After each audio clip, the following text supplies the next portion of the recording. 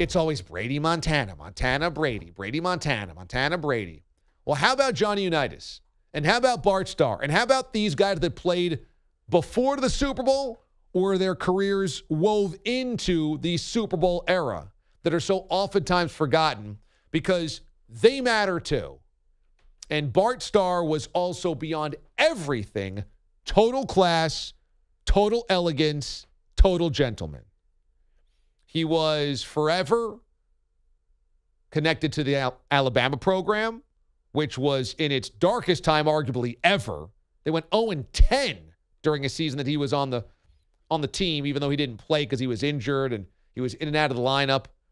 But always incredibly gracious and philanthropic to those in Alabama and those in Wisconsin. Forever after football, he was an ambassador. He raised money. He was all about charity and helping the community and being part of the organization and the program.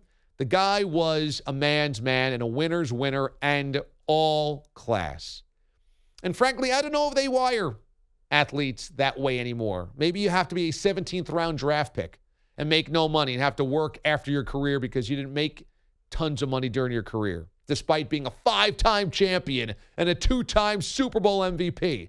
Maybe you can't get wired like that anymore. But he came from humble upbringings. His dad was impossible, impossible to, to impress. And so when he got to Green Bay and played for Vince Lombardi, he's like, this is just like my dad. Nothing I do will ever be good enough. So this is easy.